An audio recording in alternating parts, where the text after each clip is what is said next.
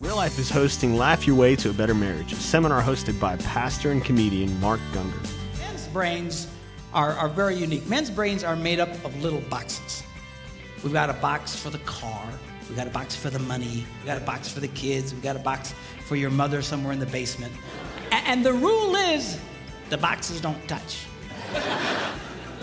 when a man discusses a particular subject, we go to that particular box, we pull that box out, we open the box, we discuss only what is in that box.